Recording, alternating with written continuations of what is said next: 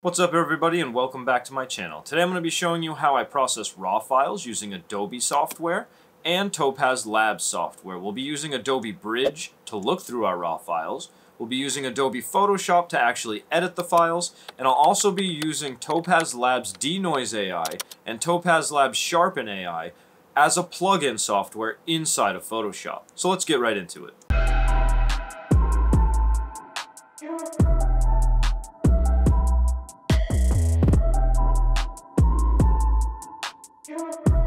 What we do is we start off here in bridge and what I like to do is just find a nice sharp shot. So this one looks pretty sharp and it was shot at ISO 3200 so we'll see a decent amount of noise in this image because this was shot with my Canon R7 and it'll give us a good example to show you how good the denoise software really does work from Topaz Labs. First thing we're going to do in Bridge, and Bridge is essentially just how I look through my RAW files. So like I said before, you're just going to find whatever image you want to start to edit with, and then you're just going to right click and go to Open in Camera Raw. This is going to open us up into Camera Raw, and at this point we're just going to make some very few initial tweaks because we want to overall leave this image alone before we denoise it. But the one thing that we do want to do is go up here into profile and we want to make sure we select whatever type of color profile that we want applied because we're not going to have this option once I go into full-on Photoshop. So I'm a big fan of Camera Faithful and that's usually where I end up landing. So I use the camera matching profile faithful so it matches the profile straight out of my Canon R7. So we use that. This is where you can make adjustments to your white balance if you want to.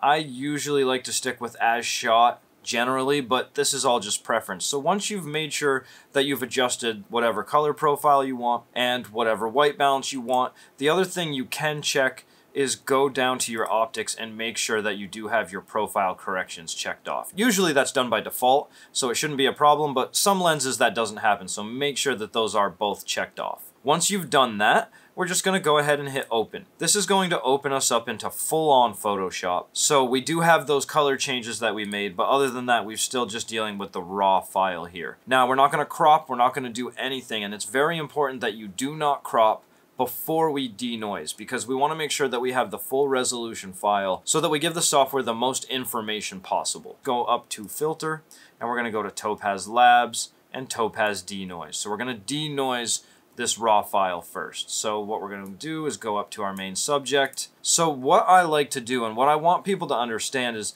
this is very aggressive software. It's very good at denoising your images, but it likes to go overboard very quickly. So what I like to start with is going what I consider the least aggressive version of this software, and that's the low light setting here. So I select low light, where by default it's going to be set to standard. But I go to low light first always. And 9 out of 10 times this works very well for me. If low light doesn't work, then my next step is to go to standard where it's more aggressive. But if I can, I stay at low light like I am now. So I go to low light, I'm going to go to remove noise, and I set that all the way down to level 5. I do enhance the sharpness at level 2, and then we have recover original detail set to 15.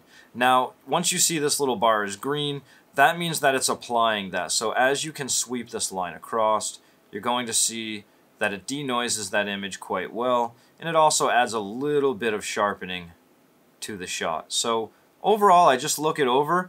The one thing you want to look at here is sometimes it misses little patches of noise. So you want to make sure that the overall entire image is looking nice and clean all the way across. Sometimes you can get some like splotchiness where it will miss the noise. So if it does that, that's when it's time to get more aggressive. But this image at 3200 in bright light is not looking bad at all. So we're happy with where we are right now. So we're just going to hit apply. And that's going to apply these denoising and sharpening changes into our raw file. But then what it's going to do is once these are applied, it's going to bring me back right to that raw file in Photoshop again. So I'm still here to edit. So this is where I would now think about sharpening this image. So what we'll do now is go to Filter, and we'll go to Topaz Labs, and we'll go to Topaz Sharpen AI. Now, remember, we already sharpened it a little bit with the denoising software, so sometimes it's plenty sharp already at this point. But if you're not happy with it, then this is where you'll go to the Sharpen AI software. Now, what I like to do here is only sharpen the subject as opposed to the entire image. Right now, it's going to be applying this to the entire image. Everything's being sharpened. And I don't like to have everything that sharp. So what we're going to do is go down here, and right where it says select, you're going to hit the little toggle switch and turn that on. And that's going to apply a mask. So right now it's trying to find what it thinks my subject is. It did a terrible job of that. So as you can see here, it's selected what is way more than just the bird. So we're going to go to refine and that's really bad. So we're just going to click clear and clear that whole mask out. Usually it does a decent job and finds the subject decently well, but it didn't this time. So what we're going to do is apply it ourselves. We make sure we click add here, and we're just going to paint, and you don't need to be very, very exact here, over what we want that mask to be. So we want his little beak, his head, his body, his little peats, and his tail feathers here.